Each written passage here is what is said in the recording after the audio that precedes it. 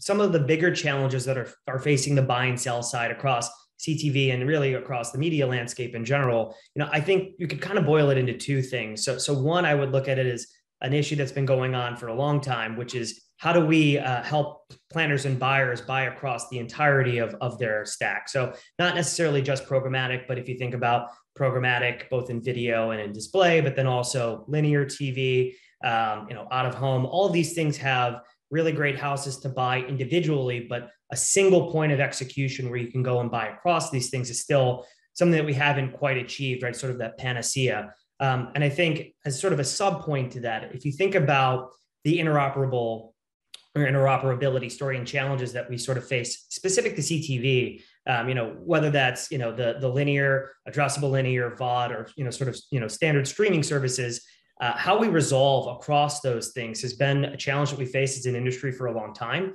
Um, each one of those channels is super important for a brand and an agency to be able to access very relevant audience. Um, but resolving that audience can be difficult. Resolving the impact of each of those challenges can be very difficult. So, you know, I think what we're trying to do at Beachfront is lean into the concept that a lot of those traditional challenges are not going away. Um, and they're still just as relevant as they were, you know, 10 years ago. Um, so trying to bring them into the fold and make it easier to execute against them, easier to quantify who those users are, um, create more uh, transparency for our brand and agency partners and our buy side partners downstream, which ultimately creates value for the publishers. Now, I wanted to ask you a bit about uh, CTV publishers. There's often a perceived trade off between achieving re- revenue objectives and a high quality viewer ad experience. Have you, have you observed that? And how can CTV publishers effectively deliver on both? Yeah, uh, this, uh, absolutely, Rob. I think this is this is a question we face every day, right? How do we make sure that we're doing what's in the best interest of our publishers um, while also preserving that user experience? And, and I guess uh, this might be the most obvious thing I can say, but it, it is the right thing to say is uh, it's really where those two purposes converge. That's the value proposition, right? So um, we find that we're able to drive the best yield for our publisher partners when we are creating the best user experience. Um, and if you think about, you know, certain things, right? We, we look about we look at things like fill rate and our ability to fill inventory, but that's all predicated on the fact that somebody stays and continues through that ad pod, right? And how do we create the best probability for that. I think a lot of it has to do with things like competitive separation or creative redundancy or create creative frequency across an ad pod or across a program, right? Uh, you've probably had an experience yourself where you're watching something and you're you know you're you're watching a program and by the end of the program you've seen the same ad 10 times well you know by the time you get to the third or fourth one of those scenarios you might just change the channel right and so uh, when we talk to our publisher partners, a lot of what we're talking to them about is yes, we want to maximize yield, but you know, for you by delivering creative. But I think we have to preserve a quality user experience. The right hand shakes the left. And in trying to tackle those issues, there ha- there have been new standards for CTV advertising that were introduced recently, covering things like program level metadata and podded bidding. Can you tell us a bit more about why those are important and what role they play in CTV media buying and selling? Absolutely. So, you know, there's a couple of things that have kind of come out, especially uh, recently in the RTB 2.6 spec uh, and that deals a lot with podded bidding, uh, as you mentioned. But I think what's really exciting about that is, you know, we've talked a lot about how do we make CTV behave similar to, you know, linear TV and traditional TV. It's funny, you know, we look at some of the way that linear TV is transacted and we think it's really antiquated, but it's always worked. It's always been consistent. And they have ways to monetize certain things within a pod that haven't been available in CTV, right? So A and Z positions, or, you know, what is, what are we allowed to be fluid and dynamic versus what are we calling static? Um, so things like that create this uh, really interesting opportunity to, to improve yield, but also um, to create more visibility downstream to the demand partners on what you're actually buying in the pod, right?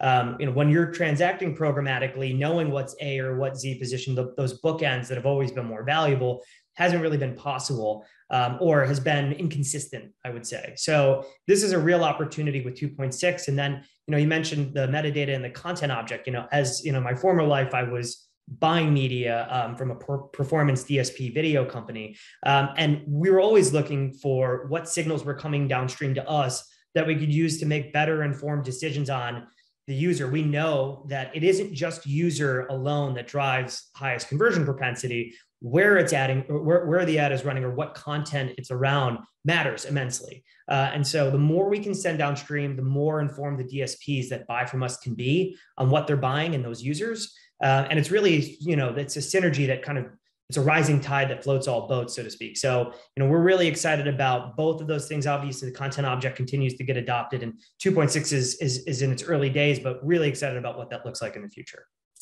Well, that brings me to my final quest- question. As far as what you see happening in the future, is there anything that's uh, changing in media sales uh, for CTV? Uh, do you have any big predictions or perhaps anything that's on your wish list for the coming year?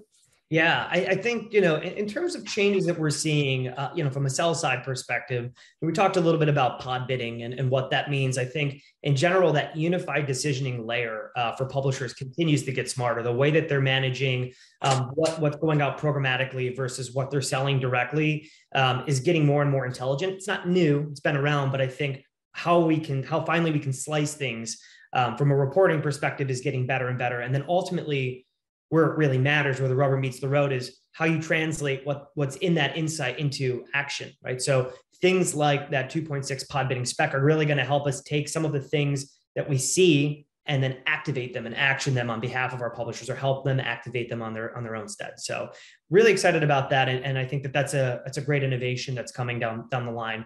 Um, in terms of wish lists you know or, or big picture you know big big prediction um, you know it might it might be uh, it might be too much of a, an easy thing for me to say working at beachfront but i do think that you know that interoperable story has been something that's been so focused on not just by us but by everybody in the landscape for so long. Um, and we haven't really seen a scenario where somebody goes in and executes um, both a you know a, a, traditional programmatic you know or sorry should just say programmatic buy alongside a traditional linear buy or you know more linear traditional linear channels like VOD. Um, I do think that this is the year. I think we're going to see people have an opportunity to go in and, and buy or activate against both of those supply sources or all of those supply sources to a larger degree than we ever have. Um, and I think that's really exciting because, you know, I, I mentioned this earlier, but every one of those impressions is just as valuable for a brand, right? It's still a person on the other end of it and the best experience you can ask for on a television. Um, it just, you know, prior to wasn't, you couldn't get to those people as easily, right? You had to uh, find different ways to reach them. So one point of activation um, where you can just go in and get all those users in one spot is, is, is on the horizon. And, you know, it's something that we are really passionate about at Beachfront.